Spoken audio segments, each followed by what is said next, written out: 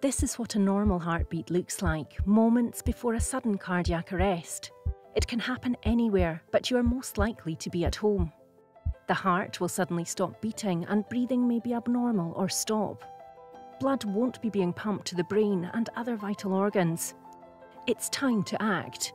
Every minute without CPR will significantly reduce their chance of survival. Shout for nearby help and always check for danger before approaching the person. Shout at them and gently shake or firmly tap their shoulders to check for a response. Check their breathing. Current guidance recommends looking for the rise and fall of their chest. Do not place your ear or cheek close to the person's face. If they aren't breathing or not breathing normally, call 999 and explain what has happened. If on a mobile, put it on speaker.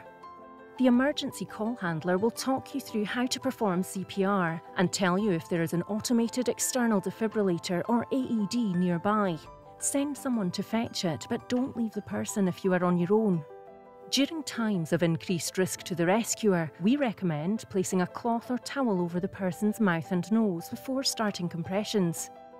It's time to give the heart a helping hand. Place one hand on top of the other and interlock your fingers. Place your hands on the centre of their chest and begin pushing hard. Aim for two beats per second and do not stop unless someone can take over. You are exhausted, the AED arrives, or the emergency call handler tells you to. If an AED arrives, this device can give an electrical shock to help restart the heart. It will talk you through the whole process, so listen carefully to the instructions.